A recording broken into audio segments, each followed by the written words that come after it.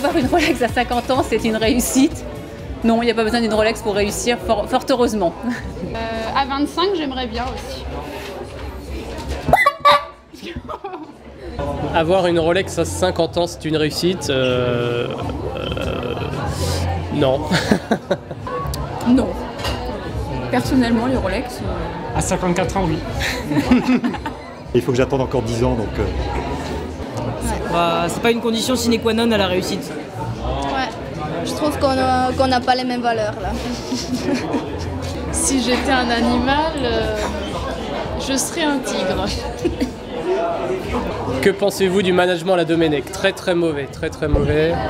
Communication désastreuse et euh, il se laisse marcher sur les pieds en fait. Il, il manage pas vraiment, c'est pas du management, c'est il est mauvais.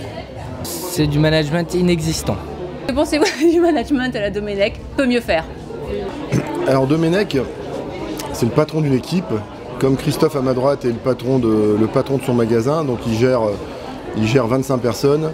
Euh, il doit anticiper, je pense que Domenech n'a pas fait, il doit anticiper son commerce, il doit anticiper son recrutement, il doit anticiper euh, l'intégration des gens qu'il embauche, il doit anticiper la formation.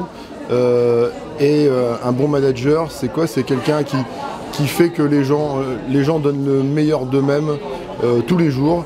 Et je pense que ça n'a pas été le cas de l'équipe de France depuis maintenant un petit moment. Si j'étais un animal, je serais un chien. En vacances plutôt voici ou euh, le point. Euh, ah, ni l'un ni l'autre. Plutôt voici ou le point. Le point, le point, forcément. Entreprise et carrière. Bon, les deux. Entreprise et carrière, le journal du management, voilà. Non. L'équipe. L'équipe. Ah, l'équipe, ouais. Et l'équipe. Et et aussi. En vacances, plutôt voici ou le point Voici. Moi c'est l'équipe, moi c'est l'équipe. Ouais, l'équipe. Je suis d'accord avec toi. En vacances, plutôt voici ou le point Moi je t'avoue, euh, ni l'un ni l'autre. Pareil. Si j'étais un animal, je serais un chat.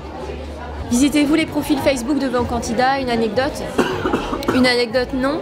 Mais je pense qu'aujourd'hui, Facebook, euh, bah, c'est un outil qui est à la disposition de tout le monde. Et bon, voilà, il faut aussi savoir l'utiliser à bon escient. Maintenant, c'est des informations personnelles, mais à partir du moment où elles sont communiquées, bah, pourquoi pas s'en servir Et puis, euh, non, bah, pourquoi pas.